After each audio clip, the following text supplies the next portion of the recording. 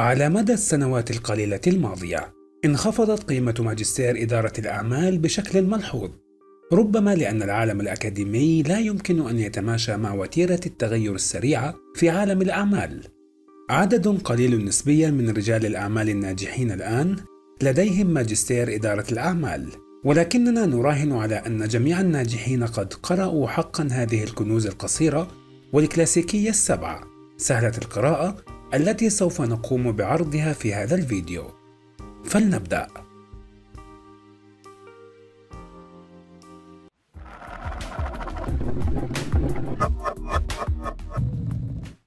الكتاب الأول. كما يفكر الإنسان. لجيمس ألان. ما الذي يعلمك إياه هذا الكتاب؟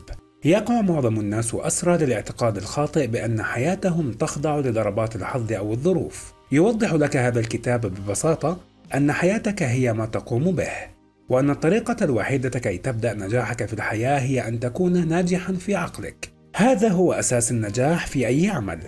يصنف الكتاب كواحد من أفضل عشرة كتب محفزة كتبت على مر الزمان.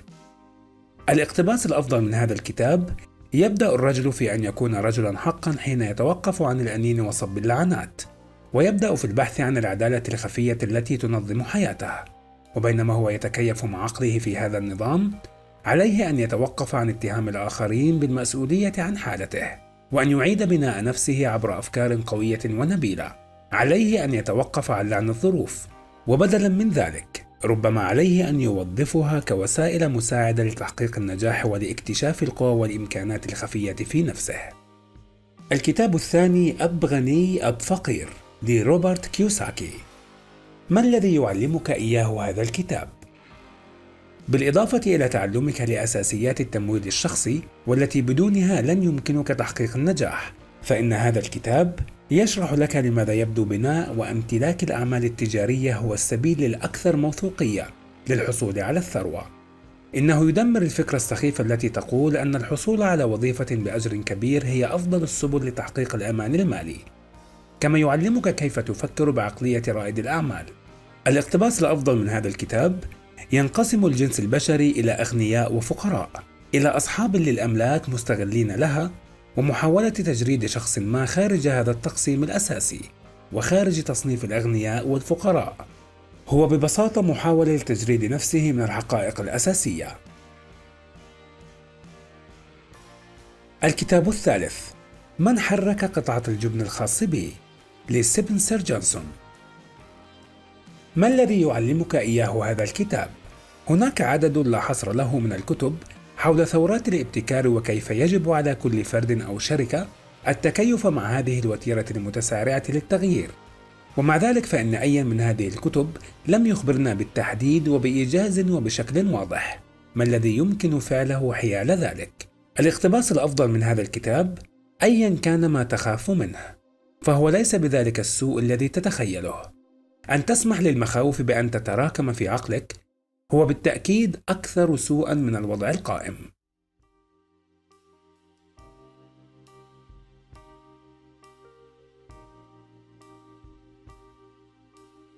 الكتاب الرابع عناصر الكتابة الناجحة للأعمال لويليام سترانك وإي بي وايت ما الذي يعلمك إياه هذا الكتاب؟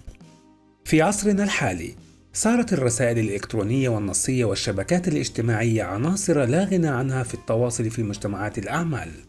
ولم تكن القدرة على الكتابة بوضوح يوما ما أكثر أهمية مما هي عليه الآن. فبعد قراءة هذا الكتاب ربما عليك أن تكون كاتبا أفضل مما كنت عليه من قبل وأفضل من زملائك الأقل اطلاعا. الاقتباس الأفضل من هذا الكتاب الكتابة الجيدة ينبغي أن تكون موجزة. لا ينبغي أن تحتوي الجملة على كلمات غير ضرورية كما لا يجب أن تحتوي الفقرة على جمل غير ضرورية لنفس السبب.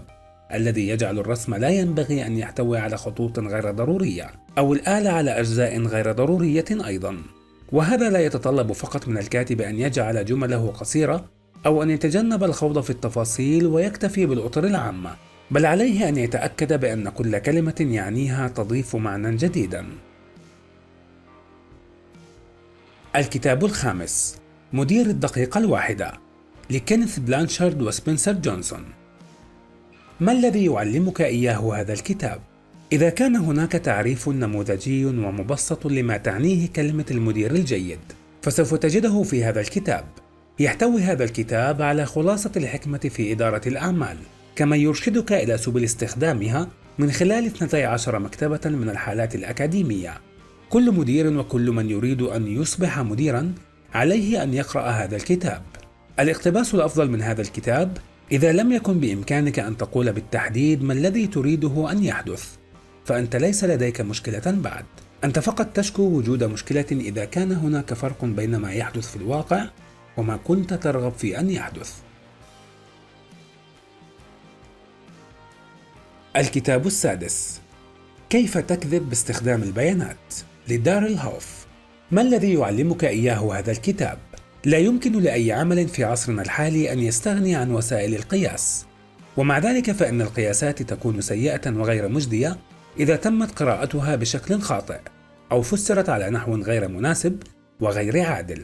هذا الكتاب يطلعك على كل الحيل التي يستخدمها الناس للتلاعب بالحقيقة بحيث يتركون انطباعا خاطئا.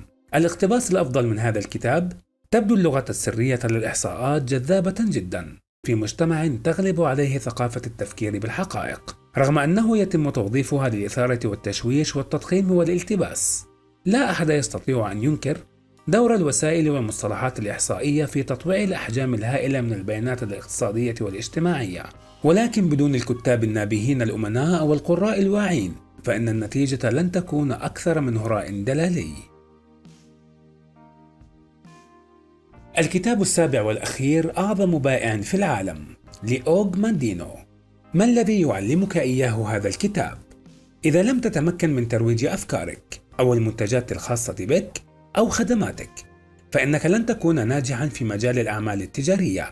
يمكنك قراءة عشرات الكتب حول مهارات البيع لكنهم جميعا لن ينزلوا بك إلى مستوى الحقائق البسيطة في هذا الكتاب. والذي هو بالتأكيد واحدا من أكثر عشرة كتب مبيعا على مر العصور. فهذا الكتاب لن يجعلك فقط أكثر نجاحا في مجال الأعمال التجارية ولكنه سوف يجعلك أكثر نجاحا في الحياة كذلك. الاقتباس الأفضل من هذا الكتاب. سوف أعيش كل يوم على أنه يومي الأخير.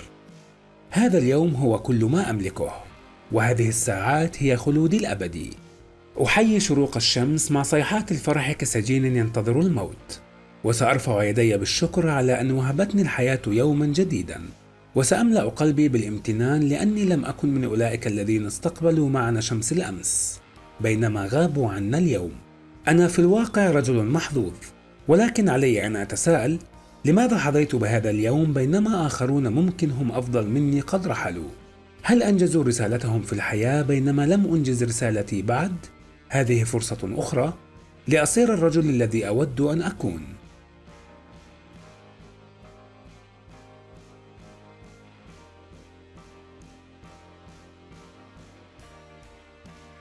إذا أعجبك هذا الفيديو لا تنسى الإعجاب والتعليق ومشاركته مع أصدقائك كي تدعم القناة ولا تنسى الاشتراك في القناة ليصلك كل جديد في أمان الله